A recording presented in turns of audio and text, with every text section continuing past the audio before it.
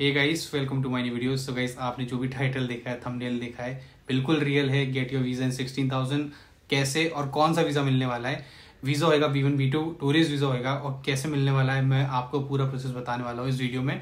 तो सबसे पहले मैं ये वीज़ा कैसे हम लेने वाले हैं कि अभी जो मैच आने वाला है जुलाई में इंडिया वर्सेज पाकिस्तान और उसके बाद एक सीरीज़ आने वाली है इंडिया वर्सेज वेस्ट इंडीज़ की. तो जो मैच है इंडिया वर्सेज पाकिस्तान का T twenty World Cup World Cup match हो रहा है न्यूयॉर्क के अंदर यूएसए के अंदर ही मैच हो रहा है वो।